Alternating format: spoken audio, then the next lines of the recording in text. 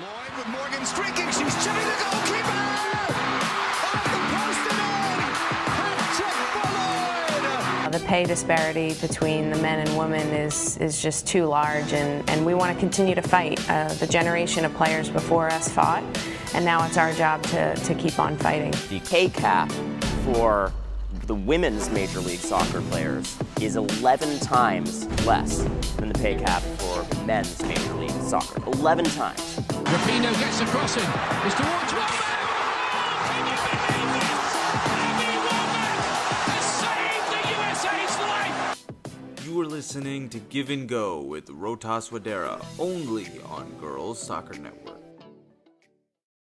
Hello and welcome. This is episode 35 of Give and Go. I am your host, Rohtas Wadera. Thank you so much for tuning in to listen to us at Girls Soccer Network. It has been a little while. We apologize for the delay in content, but we are happy to be back.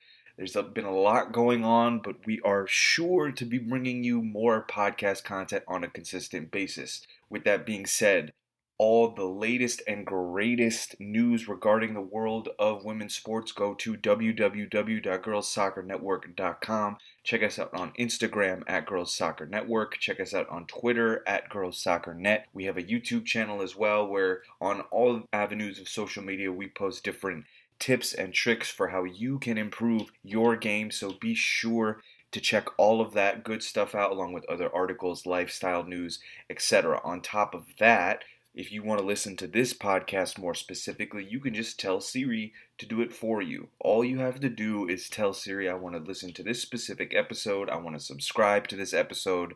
Whatever you want to do, Apple Podcasts is the best way to do that. Of course, we are on other avenues as well, whether it's Spotify, iHeartRadio, Google Play, whatever it is, we are on a wide variety of formats. You could get this episode from many different avenues, Stitcher as well. All right, now that that's out of the way, before we get into the soccer talk, I wanted to be sure to touch on a very important topic, and that is, of course, that Black Lives still matter. We all have to keep fighting. We all have to continue to do our part. It does not matter who or where you come from, we all have a part to play in this. Whether it's making the phone calls, whether it is donating, if you have the means to donate money, please donate okay? Sign petitions, do whatever it is that you need to do, but the situation is dire right now, guys. We need all the help we can get. So continue to do your part, okay? The fight is not over. There might have been a small point where things kind of lulled down for a bit. People's social media feeds went started to go back to normal, and then again we have another situation where an unarmed black man has to lose their life. And why? Not just black men, black women, trans people, everyone. I'm not just trying to, like, everyone. I'm trying to get this through to everyone listening. Like, we all need to do more. We need to continue to do more. Okay, and on top of that, we have the loss. Rest in peace, Chadwick Boseman. Rest in peace. You know, that was such a hard loss um, for a lot of people to have him and Kobe in the same year. So, again, we're all going through right now. Stay strong, okay? We are here in this fight together. We are here together, and we need to continue to fight together. All right, now we can get into the nitty gritty, the soccer. There has been a lot to come back, right? Obviously, the NWSL set the stage for coming back, but now we're getting back to fall, right? It's it's fall season now, and it's going to be a little different than what I think we're all used to, right? Like especially when you think about for me who's been so far removed from my playing career, fall is just that nostalgic feeling of soccer season. Like you know, whether it's for school, whether it's for club, you know you're getting ready to lace those cleats up. Again, whether you put the goalkeeper gloves on or not, it's up to you, but it gives you that certain feeling like, hey, school is back, soccer is back. But it's a little different now, right? Especially at the college level and that's one of the first things we wanted to update you guys on this episode is what is happening with college sports because there is a lot a lot of updates to bring to you. The main thing here is that player safety is of the utmost importance right? We need to keep as many people safe as we can keep not just players but everyone involved on the staff people organizing the games right but I think you'll notice pretty much everyone except for three major conferences have postponed their play. right? And and there's a reason for that. The three conferences that will continue to press on, it appears, are the ACC, the SEC, and the Big 12. Now, you think about where they are geographically located, they're in areas where populations are not as dense. Like, so there's less likely of there being an opportunity to contract the virus. With that being said, is that still, are we still being as safe as we can possibly be? I don't know. But it would likely explain why ACC is kind of like East Coast South. You know, Big 12 is the Midwest, SEC is the South. So you're looking at, right, these three conferences stand to make quite a bit of money as well. You can't underestimate that fact. Like, colleges are trying to find a way to make up what they can make up because colleges are a big business in this country.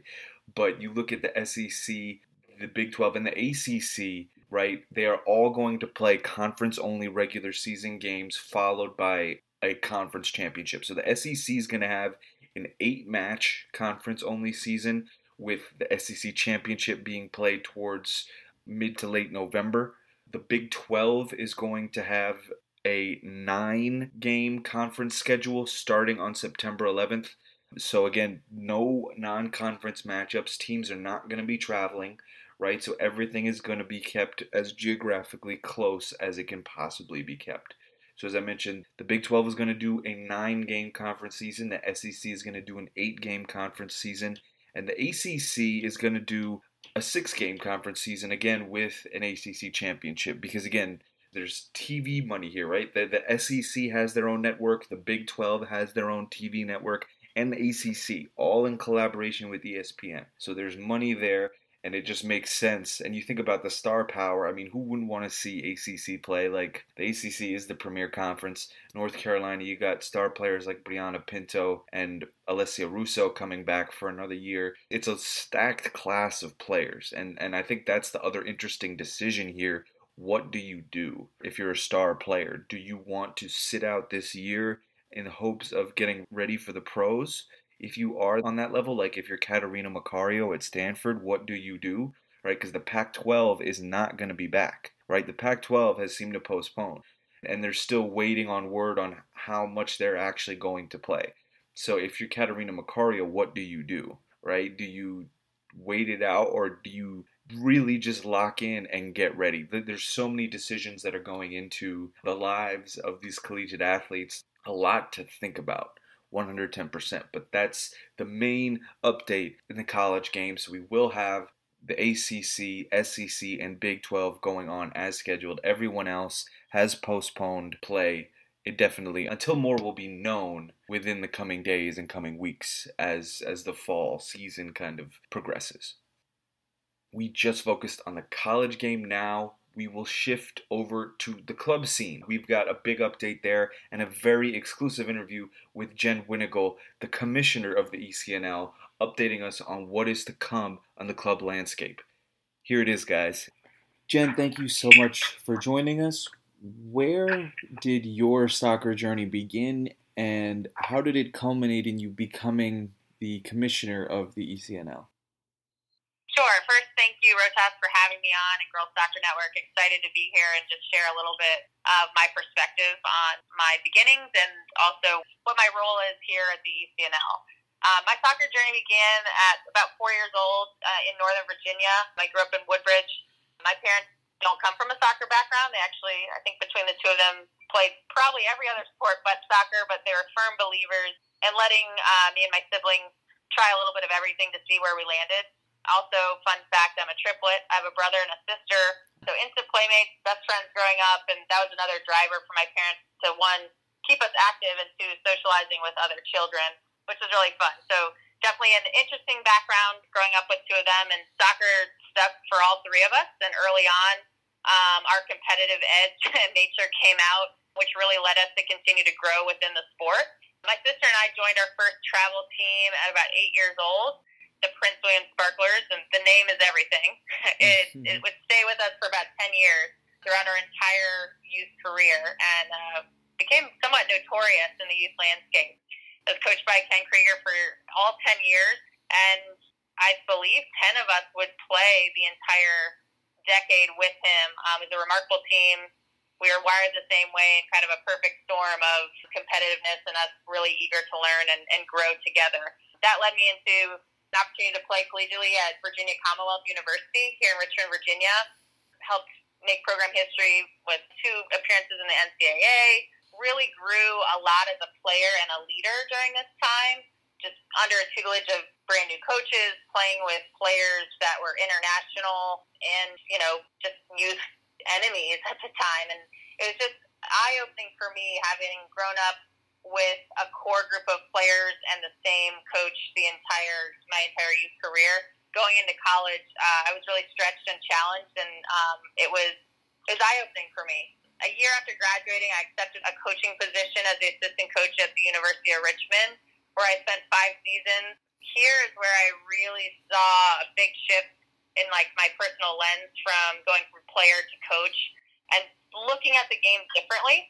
It was just amazing how I could learn from the game that I had played my entire my entire life, digest it and turn it into teaching moments and really the perspective and way, uh, I guess the tone of how you um, express that to players. It's challenging. I was a young assistant coach, but you know, really emerged as a leader and saw the, the game in a different way and knew that I wanted to be around it and to learn from it and to give back. That was the first time I really think I wanted to play an active role in giving back. And also at my time with U of R, I was able to see ECNL from the start. Um, from a college recruiting perspective, I saw the ECNL as like divisions within major tournaments and really seeing like what is what is this? What's this new league? What's it about? And and how is this now entering the scene? And and what's next? So through those years, it really just continuing to evolve in the U.S. And uh, you know, I felt like I played a, a part of raising the game. Just didn't know it yet. mm-hmm. And I reached a point where I was just ready for another challenge and decided to move into a more administrative role uh, back in my alma mater in donor relations. And I was eager to learn. I wanted to, to learn more about the ins and outs of like the business perspective around athletics and to really, again, following that passion of giving back. And I focused on that piece of it, giving back, building relationships, and learning, just trying to be a sponge.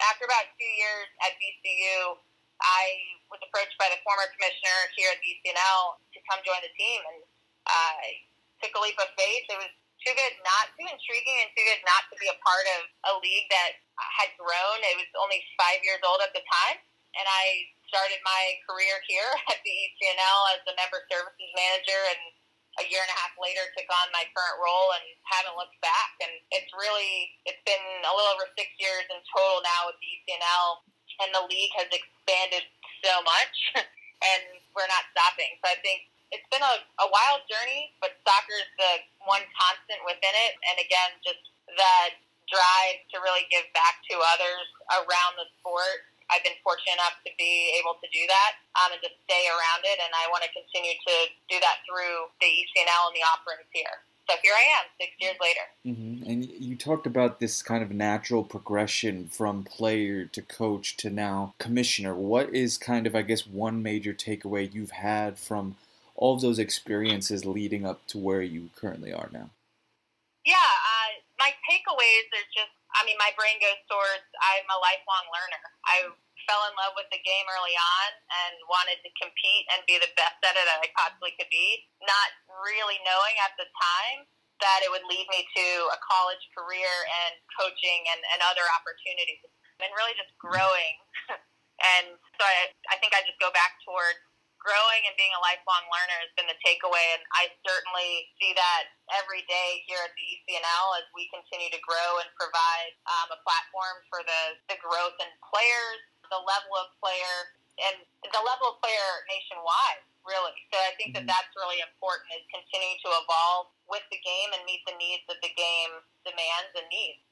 And you, and you definitely you mentioned growth and Tell us more about how the league has steadily grown because, like as you mentioned, it was small before. Now you have more than 100 clubs, six national events, eight total conferences. There's so much that, that this has developed into. Sure. Um, and really, the, the evolution of the ECNL, and I know I've, I've said growth and evolved quite a bit so far, it's, it's dependent on the game and the level of play. And that it goes hand in hand. So as the the growth and like the pool of players across the country, the talent of that pool of players has elevated, and with that, the demand for the game and the the experience is there, and that's where the ECNL has entered in. So continue to evolve with the environment and offer it not just for quantity, it's for what the game needs, and to continue to provide a platform to develop these players is our mission. And I guess going back from five years ago, it was I think we were about 76 member clubs, and just on the girls' side, and now six years later, the girls have evolved to we now have 113 clubs at the ECNL level, and we now have an ECNL Regional League platform that's entering its second full season hmm. that has expanded. It's more than it's about doubled from last year, and that again goes back to the deeper player pool, the the level of talent of the youth player across the country, and the third, the ability to roll out this platform for the ECNL boys on the boys side and the boys youth game has been integral. And um, a big part of that the fast track, if you will, for the boys has been the the roots and the experience that the ECNL girls have had, and where we continue to go, and and we see that need on the boys side as well. Okay, and what does the the regional league? What does it specifically provide for for this deeper pool of players? And has it been difficult now to manage with everything going on in terms of COVID? The regional league is the proving ground. Again, um, as I talk about this deeper pool of players and the talent level increasing across the country and in different regions, the regional league really provides a platform where we can continue to offer opportunities to a larger group of players, and there is an opportunity to progress and qualify into the ECNL Open Cup in the postseason, where we are having ECNL and ECNL Regional League teams that qualify. They have an opportunity to compete with or more so against each other, and that again leads to development of the game. So as more players are getting the opportunity to participate with and against each other, there's the carrot at the end. Like there's this opportunity to play with and against some of the top players across the country. So the regional league is really providing the ECNL structure and the platform to a broader audience to help in those like different regions and conferences across the country that have a deeper pool and to provide opportunities. And again, there is a pathway into the ECNL girls.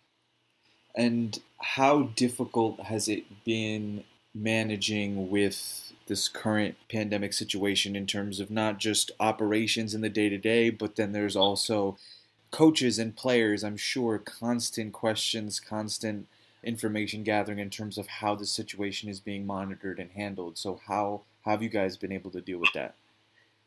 Sure. Uh, there's one thing that the ECNL knows and knows well is, is expansion and evolving with the game, with, again, following our mission to raise it and to offer opportunities and to, to again, progress development within the game itself. That was happening well before COVID. So, again, it's, it's not something that's new to us. And I, you know, COVID's not over. That's, that's reality. But our expansion has continued. We're looking forward to this current season, the 12th season for the girls the fourth season for the boys. And at this time, we want to provide resources while we continue to work towards returning to play nationwide. We have different conferences kicked off last weekend. We have other conferences kicking off this weekend. Again, it varies due to restrictions and, and everything that's going on with the uh, pandemic, but we're excited. We're we're business as usual, looking forward to again safely returning to the field, and that means something different across the country in different regions. So you would say there's more specific pockets where you're already coming back to play, and then other places where eventually you'd like to be back nationally, like fully in operation. Correct, and we're creating environments for kids to play in in the safest and healthiest way possible.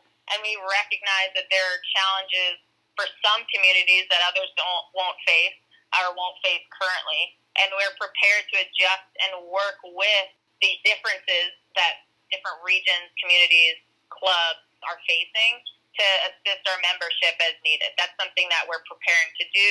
We're continuing the conversation and we're ready to make those adjustments as they come up. Okay, and lastly, what is your message to all of the girls out there who are looking to play college soccer and have had their season either canceled, postponed, pushed back due to the pandemic? Sure. Everyone is experiencing obstacles, including college coaches, fellow teammates, players across the country, referees, parents, fans. So ultimately, it is up to you to follow your passion. You cannot control what is going on, but you can control what you do and how you, you do it. In fact, that's something that I've heard from our newly appointed ECL mental performance advisor, Dr. Christina Fink, that there are going to be things that you can't control and you can control the things that you can. So being proactive, using your resources, you can control your future. That's what I would advise.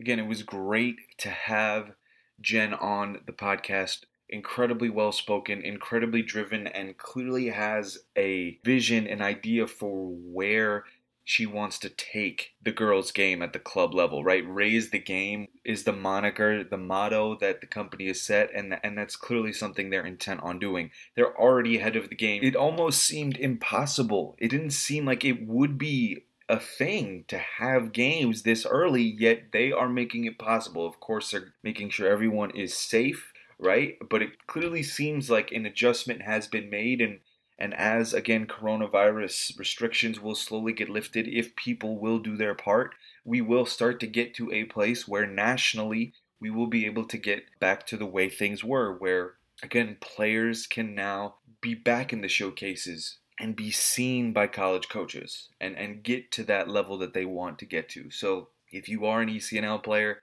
I'm sure that's a great update to be getting to know that there will be an opportunity to return. If not now, then for sure in the springs, it seems. So, great update. Um, again, we wanted to thank Jen for joining us on the podcast. It was a, it was great to have her as a guest.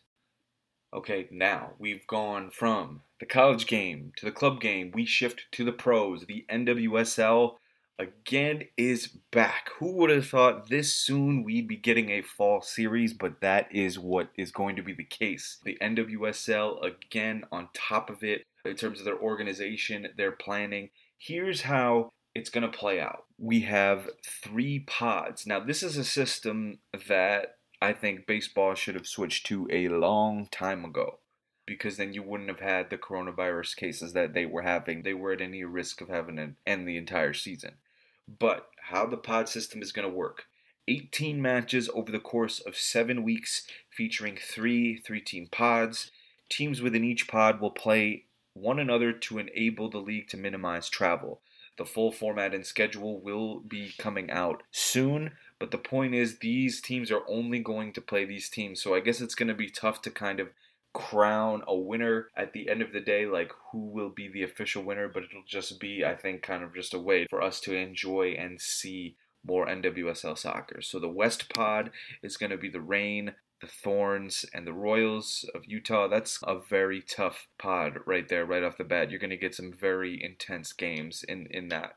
The Northeast, Chicago, Sky Blue, and the Spirit. Now, Again, normally I'd say, based on how the Challenge Cup went, again, this is going to be a really great pod. Sky Blue on the rise, Chicago, you know, got it together in the playoffs, but then again couldn't finish the job. The Spirit, again, now no longer have Rose Lavelle. So now we see how they rebuild. Where do they go from here? West, Northeast, and finally the South. The courage, the pride, and the dash. So Crystal Dunn is headed to Portland. So with Sam Mewis gone and Crystal Dunn likely gone, where do the Courage go from here? How good are they really going to be? Of course, they're going to be among the top teams. Of course, they're going to be amongst the elite. They signed Debinha to a huge contract, which is great for her. And so the South pod is going to be fun between the Courage and the Dash, two teams that are among the top because the Dash just proved it with the Challenge Cup win. The Pride obviously still have a lot of work to do. They're going to have a tough time going up against the Courage and the Dash. So that's going to be a fun pod. Again, we're already, you know, one week away. I believe Megan Rapinoe and Kelly O'Hara are already out of this fall season, and I don't think that should come as a surprise to many people. Megan has been proudly supporting Sue Bird with what the WNBA has been doing over in the in their bubble down in Bradenton, Florida. So I don't don't expect to see Megan Rapinoe back on the field anytime soon. And then on top of that, you have Kelly O'Hara, who I think is is just gonna again take some time off with the injuries that she's had. Just take this time to heal and rest up. But there's also other players who have decided to take this time to go abroad, right? And this is, I think, as good a time as any amid the pandemic, again, as long as it's safe. But players have every right and opportunity to go seek a new experience in order to better their playing careers. Emily Boyd, who we've worked with, obviously she has her eBoyd's food account that we love to follow. She has been the backup in Chicago for quite some time. She's heading out to Denmark, and that will be a tremendous experience for her. Anytime you send a younger player out on loan with an opportunity to grow, getting that international experience will be fantastic. So I think that's a great way to get her ready for when you feel that Alyssa Naeher is not going to be the number one. Obviously, that's still some time, but you got to start looking ahead, right, to the future. Jessica Fishlock, who is back, will be going to Reading FC. Now, Reading is a solid team over in England, and I think she provides uh, more veteran leadership. I'm, I'm not entirely sure if Fara Williams is still there, but Reading will be a fun team to watch for as long as Jess Fishlock is going to be one of the leaders in the locker room. Emily Sonnett is headed to Sweden, play for Göteborg FC. I hope I pronounced that okay. That's the same team that Christen Press has gone to play for. I'm sure she reached out to and got some type of some type of knowledge on what that experience is like, and so she's going to be there till November. So again, more star players still deciding whether they want to be in or out, but the point is is that with this, it'll give more players, new players, an opportunity to show what they're worth. And that is what brings us to another very special interview. Jennifer Cudjoe, one of the breakout stars of the NWSL Challenge Cup. First of all, she has just signed a permanent deal with Sky Blue, a multi year deal, an official contract offer.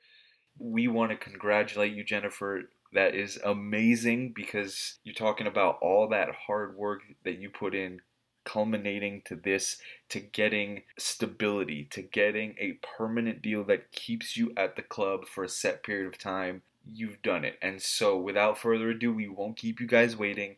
A very special interview with Jennifer Cudjoe of Sky Blue FC enjoy guys. Jennifer it's it's been a little while since the NWSL Challenge Cup ended what have you been up Yeah. to? What have What have you been up to since then? And and what's some of the work that you've been putting in?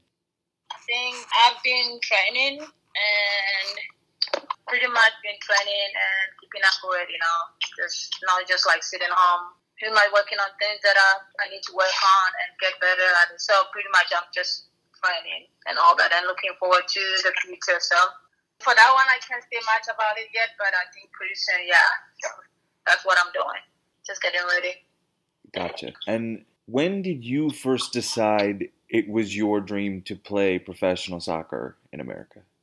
I think if I, I, I think I would say when I was 13, even though like I love the game growing up where I'm from and it's a real competitive sport and you know, you don't know exactly what you're doing until you get to a point where you feel like this is actually what you so for me growing up I've loved the game so much and I think at that age I know that this is what I really want to do and I told my sister that hey, this is what I want to do. I'll come to America, play, go to college, and hopefully I can see my inspiration, which is Alex Morgan and all that.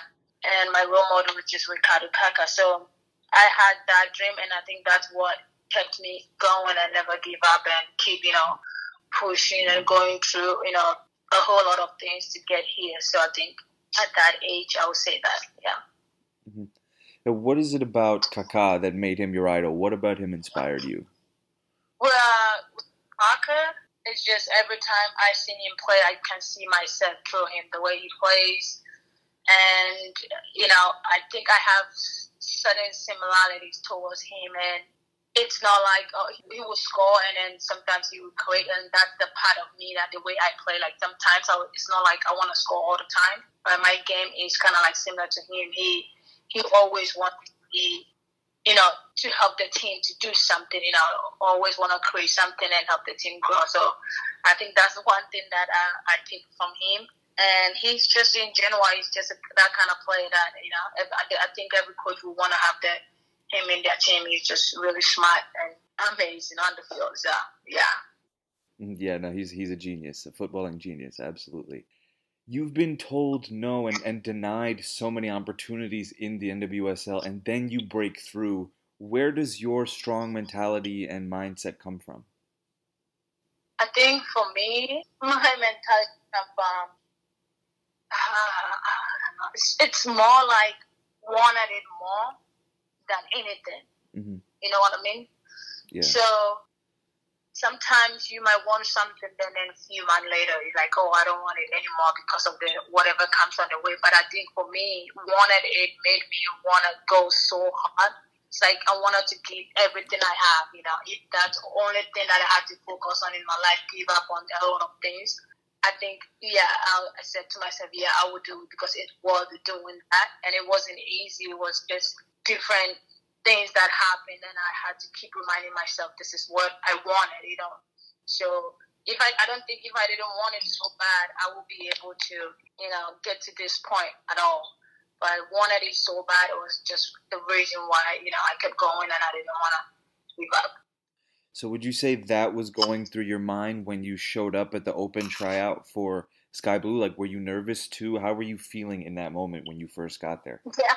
I think yeah, uh, for me going in, I want to, to try out definitely. So going in, the first thing comes to my mind is the reason I'm there. I want this. I want this so bad. So then I look at the you know the never side of it, and first of all, I, I was just doing trial with different people. It wasn't like the first team. So with the Sky Blue, so it was like it was nervous because all of the players, pretty much most of them are from D1 schools who've had a great experience with you know the intensity and all that environment. But for me, I went to a Division two school, and we were pretty good. And I went through different phase, so I was like a little nervous, but also I was like ready because I've been waiting for so long for this, and I've kind of like prepare myself for this moment. So I was ready for whatever is going to happen. You know, I was nervous, but I kind of put it out aside. You know, the moment I step on the field, I don't think about anything. I, all I want to do is play, you know, have fun, be happy, and then deliver what you know, whatever task that I, I'm there to do. I want to do it. So that's what was going through my head too. Yeah. Mm-hmm. And you're you're now a breakout star. You know, the the Challenge Cup was a time for you to really show what you can do. And now that you're getting more attention, how do you deal with the stardom and the added attention that you've been getting? Um, so some people say it's good because because as a player you want to be seen, you want people to know what you do and all that. But uh, also it, it's hard to maintain that. But it, it only comes when you are, you know you focus and you always remember yourself, who you are, and you know where you come from and the reason why you do it. Because if you don't remember all that, you have you know kind of change your direction too because everybody likes you and all that, and it, it might change your focus. But for me, it's good, but also I kind of uh, always remind myself who I am and where I came from and how I got here. So that's all, one thing that keeps me, you know, always on my toe and makes me not, you know, fall out or makes me not kind of like, you know, just enjoy that. Oh, okay, I, I did this. That's all it's gonna be now. So I think I'm always aware of what is around me and what I have to do, and always not to forget where I'm from. Mm-hmm. Absolutely, and you created so many chances. Your your passing accuracy during the cup was fantastic. But what are some of the other things you feel like you can add to your game to kind of benefit the team even more? Oh yeah, there's, for me, there's so much about me, and I think maybe as time goes on, I will do that for my team. And you know, I think most of my players, yeah, they still got a lot that we've shown. We didn't have enough time to, you know, prepare for this tournament, but um, I, for me as a player, I'm kind of like different type of a player. I'm not just like all dribbler or you know all defensive player. I'm just like all that. And like I said, it depends on the game. If um if I'm playing attacking or defensive or anywhere, that's when I can show more. But I know my attacking side will show because not many people saw that from me. So I think maybe whatever that comes on my way, I'm gonna definitely do that, and people will see the attacking side of me, the skill sets, and the mindset that I have, you know, on the game. So definitely they will see that. Yeah. Mm-hmm. So if you score your first NWSL goal coming up this season, do you have any special celebration planned? Have you thought it through at all? Yeah, I do. I do definitely have one, but I can't tell you though. Okay. See, in the future, if it happen, Uh huh. I do have a celebration goal that um, I thought I was gonna score back and then do it, but I didn't. But um, I do want to do that for sure. So hopefully, you know, that dream comes true too, and then I'll be able to do that celebration. Cool. So it'll be a surprise. We just got to stay tuned. Yeah, yeah. Great. Now, you're the only player from Ghana in the NWSL right now. What does it mean to you to be representing your country on a stage like this?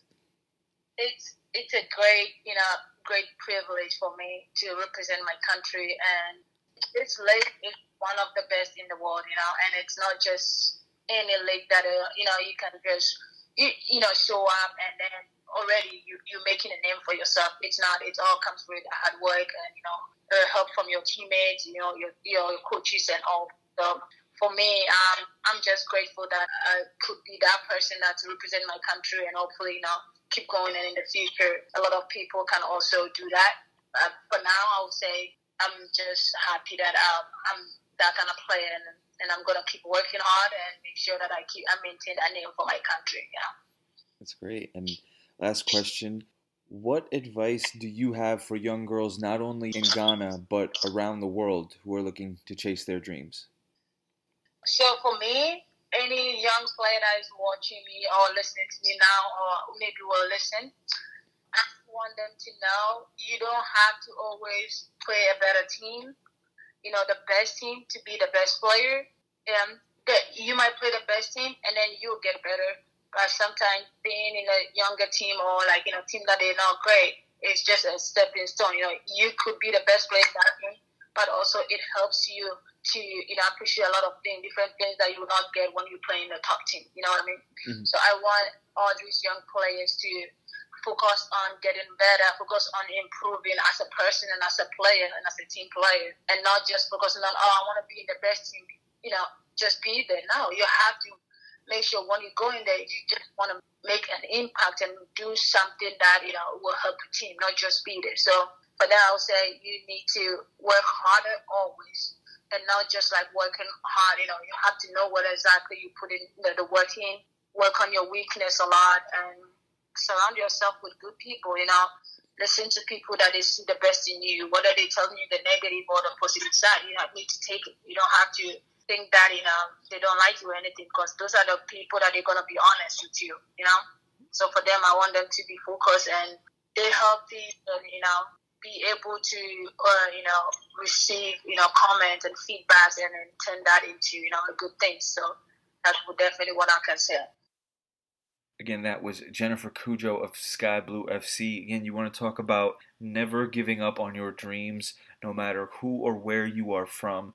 As long as you are mentally willing to go as far as no one else is willing to go, you can achieve what you want to achieve. That's the bottom line. That's what you can learn from someone like Jennifer Cudjoe, who literally just wanted it more than everyone else. There are plenty of players, I'm sure, who are sitting at home who would love to be in the NWSL, but are you willing to make the necessary sacrifices? She got off her couch, showed up to that tryout, right, and impressed everyone, just ready, waiting for her opportunity. And that's exactly what she did. And I think it's awesome. Her idol is Kaka, and you can definitely see the influence in her play in terms of her ability to distribute and pass that was by far her greatest quality during the Challenge Cup and something we're going to get to see more of now within the next week or so as we have this fall series. So, again, very excited to have more soccer coming back and more Jennifer Cudjoe because she was an incredible story and inspiration and we were just very fortunate to have her on. We hope you guys really enjoyed that interview. All right, we have covered everything in America. Now we're going to head over to Europe. The FA Women's Super League is back, y'all, and it is going to be back with a bang. Let me tell you. Oh my goodness, You want to talk about some big signings, the profile of the league elevating even more. Sam and Rose Lavelle are going to Manchester City. They clearly were not going to sit by idle and watch as Chelsea continue to add star players to their roster. They're going to add Pernille Harder of Wolfsburg. Arsenal is pretty much set. They look good. So we've had those three teams. The big news, the big, big news that I am very, very happy about as a Manchester United fan is Christen Press and Tobin Heath. Are you kidding me? Now we're talking about a top four, just like in the Premier League. We're talking about Manchester United being in the title mix now, if they can sign those two players. Then you have Chelsea with Sam Kerr and that whole group of star power, Bethany England, Fran Kirby. The list goes on and on over at Chelsea.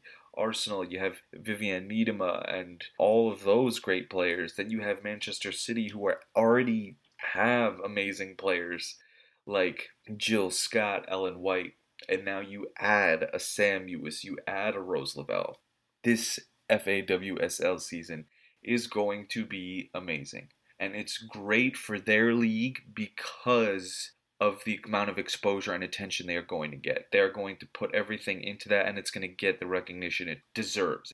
I think we can't be too worried about whether we're going to lose our star players for a long period of time. They need this experience for themselves and it is critical. They will be back. I don't think this is. It's not like Rose is never going to play in the NWSL again. All right, it's not. It's not going to be like that. They will be back. We've seen this many times before. I wouldn't be too worried. But again, this is great for the Women's Super League, and we can't wait to see how it continues to grow, develop, and hopefully expand. And and hopefully we have more teams added into the mix. To start off the season, Chelsea got their first trophy, defeating Manchester City 2 0. Believe you had Millie Bright get on the score sheet, and again another another trophy for Chelsea. So a good start to the season, and we will see how again it plays out. Very very excited for it. So keep it locked. we are going to have plenty of top five goals. We're going to be monitoring the league and be constantly updating you on what's going on for sure two more things to get you updated on before we wrap up the show today. First, Lyon are champions of Europe once again. They just wrapped up a 3 1 win over Wolfsburg. Wolfsburg's arch nemesis is Lyon. They can't seem to beat them in this final game for whatever reason. They've been here many times before. Lyon has won their fifth straight Champions League title with seven overall. It goes to show when you just invest money, if you are a big team willing to invest the money, this is what you can create to invest so early on like they did when the women's game wasn't nearly as what it is now. Seven, eight years ago, Lyon are a testament to that level of dominance. It is absurd. Seven Champions League titles. Players like Som- Sommer, Bouhaddi, Majri, Renard get seven Champions League titles. That is absurd. Last and most important point Dell Loy Hansen's comments this week obviously were shocking to a lot of actually not even shocking because I think it's been known to people who work close to him and the team that he is a racist. He's been a racist, and now he's going to be selling both Real Salt Lake and the Royals. Big, big news. I also saw JJ Watt, um, Kealia Watt's husband, tweet out that he's interested in buying the team, him, Jozy Altidore, that would be a crazy ownership group. Are you kidding me?